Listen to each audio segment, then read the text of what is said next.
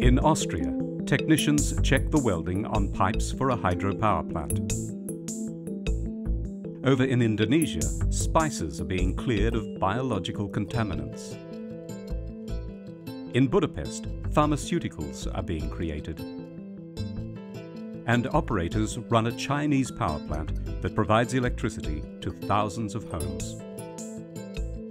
These are common activities, taking place every day in many parts of the world.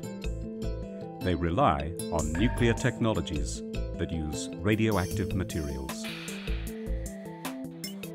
The benefits of these technologies, whether used in agriculture, industry or medicine, are plentiful. Like other processes, they generate waste. This waste contains radioactive elements. People and the environment must be protected from the potential hazards of such waste, now and in the future. So countries need to manage their radioactive waste safely and securely, and make sure it's kept under control.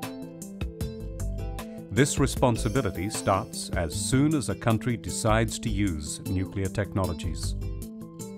And techniques are available to manage radioactive waste. Radioactive elements are unstable and emit radiation as they decay. The decay rate is measured in half-lives. This means the time it takes for the activity of a radionuclide to halve. After another half-life period, the activity is again down by half. This continues and eventually the material emits only negligible amounts of ionizing radiation. Each radionuclide has its own half-life. So waste can be hazardous for periods of time stretching from a few hours or days up to hundreds of thousands of years. Radioactive waste is classified depending on the half-lives and the level of radioactivity of the nuclides it contains. According to the IAEA's safety standards, there are six classes of radioactive waste. Each waste class has different management and disposal needs. Techniques exist to manage this radioactive waste and the spent nuclear fuel from power plants and research reactors in a safe and secure way. Waste containing only radionuclides with very short half-lives can be stored for a few days or years to allow for the decay of the nuclides. This type of waste is usually generated when radioactive materials are used for research or medical purposes. Eventually, it can be disposed of as conventional waste. Other waste forms need to be managed for radioactive waste disposal. By volume, most radioactive waste has low levels of radioactivity. This includes the majority of the waste that comes from the routine operation of a nuclear power plant. And waste that's produced when medical and industrial devices that use radioactive sources are no longer needed. This could be because the source has decayed and the remaining radioactivity isn't strong enough for its original purpose.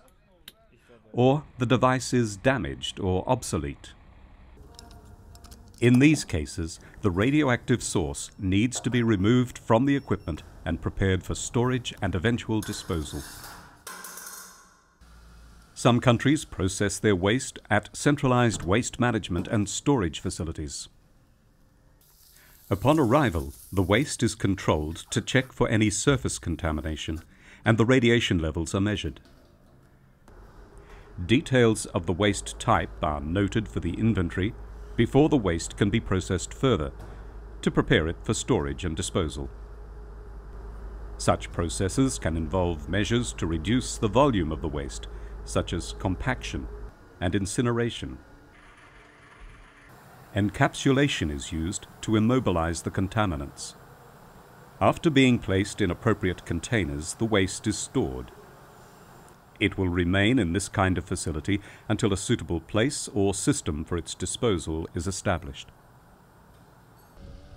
Many countries already have near-surface disposal sites for waste with low levels of radioactivity. These facilities can consist of silos in the ground, trenches or vaults. Once they're full, they will be backfilled with grout or soil sealed and closed according to their disposal license. Alongside the radioactive waste produced by the routine activities at a nuclear power plant, nuclear power generation produces spent fuel or high-level waste. Such waste is low in volume, but has a high level of radioactivity, and it remains hazardous for thousands of years.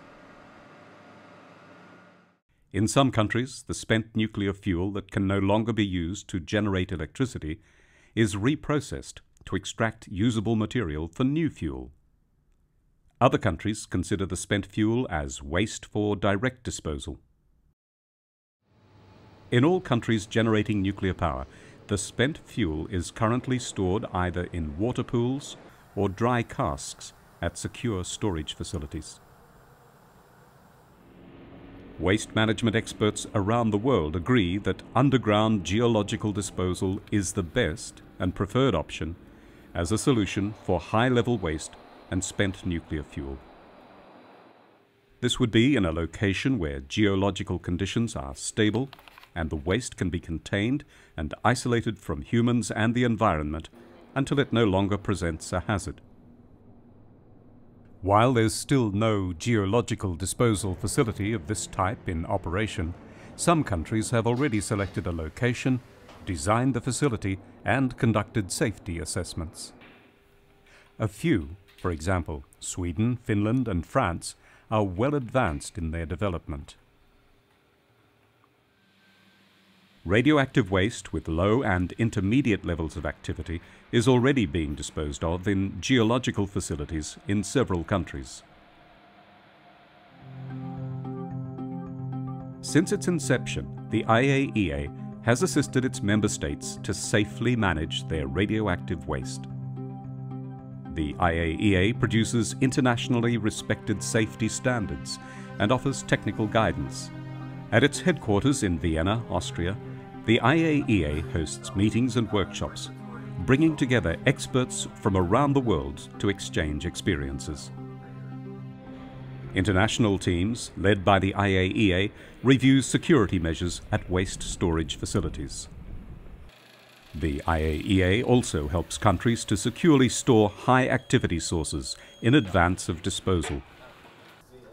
Its experts run training courses in radioactive waste management and conduct missions worldwide to assist with the conditioning of disused sealed radioactive sources. Its safeguards inspectors make sure that all nuclear material, including spent nuclear fuel, is accounted for and used solely for peaceful purposes. As populations grow and nations develop, we'll be making more use of nuclear technologies. This will result in more radioactive waste. And more waste means more needs to be done to meet the challenges. With the technologies now available, the new developments in the pipeline, and the continuous support of the IAEA, countries are well equipped to manage radioactive waste safely and securely.